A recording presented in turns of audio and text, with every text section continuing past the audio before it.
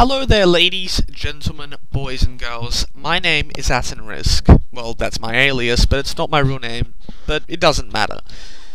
Anyways, guys, in this video today I'm going to be doing a public demonstration of T encode and T decode. Now, you may be thinking to yourself, what exactly, what exact purpose do these two executables serve? And I'll just be on, I'll just keep it you know, blunt here. These two executables serve the purpose to encrypt and decrypt data.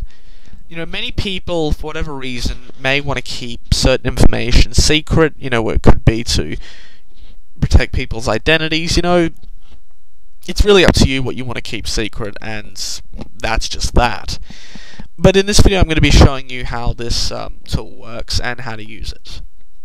Now, let's say I have a file of, um, I don't know, of secret stuff. Could be my tax information, could be something like that. Now I'm going to type in my secret stuff.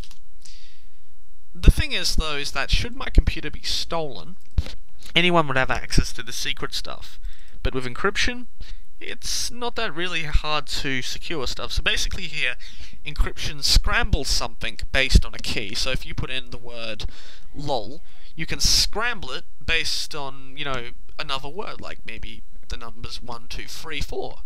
You can scramble data so that it can't be read by anyone without that key. Well, it can be, but you'd need to either brute force it or use a dictionary attack, but point is, it's basically just completely noob-proof. Okay.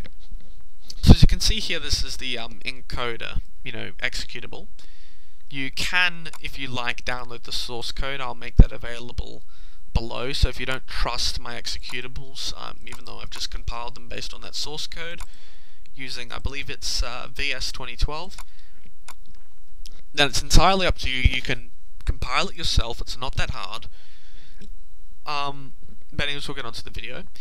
Now, you just enter your key. So I'll put in one, two, three, four, one, two, three, four. Even though it's a you know terrible key to use because you know people could guess that, and if you brute forced it, it would decrypt it. But that's beside the point.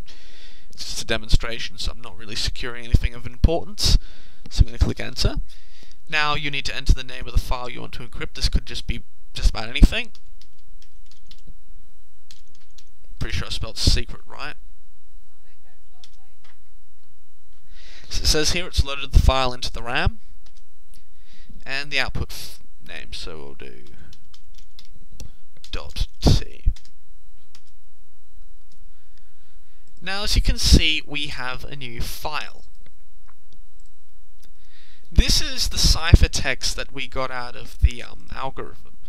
You can't read this and you can't really decrypt it without the key. I'll give you an example. Let's say we wanted to open the secret.t file and we didn't have the key. So I could just guess and say 1, 2, 3, 4, 5, and then just try opening it using basically here just a wrong key. And we're going to do lol dot out. And as you can see, it's bad data. We didn't decrypt it. That was a complete failure. Now, as I just demonstrated, you know, the decode um, executables also, you know, basically the same process. You enter the correct key, into the name of the file,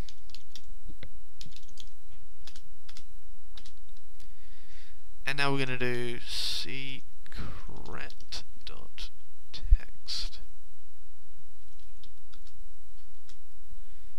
And that's just basically how the uh, system works. One executable will handle the decryption, one will handle the encryption, and this allows you to secure your data using an open sourced and easy to understand tool. This is especially good for people who are just learning C++, and I'm also just learning C++, so it's, you know, quite a godsend to actually have something like this. Now, the only bug is that it puts nulls at the end, which you can just delete.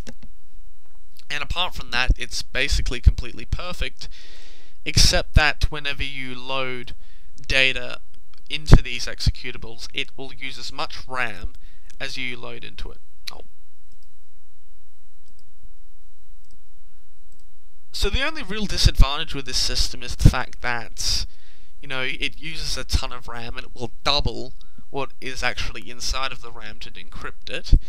I do want to rectify that situation by possibly um, getting some help from the community in actually fixing up the way that this system works, but I'm um, providing the source code to allow people to edit stuff if they'd like to, you know, and uh, really this isn't much of a problem with, um, I have no problem at all with people, you know, using this tool or changing it. Um, if you could fix the RAM problem, I'd love the source code and I'd credit you for it, but, um, yeah, all I ask is that you, you know, of course, if you of course credit all parties involved in the creation of the tool.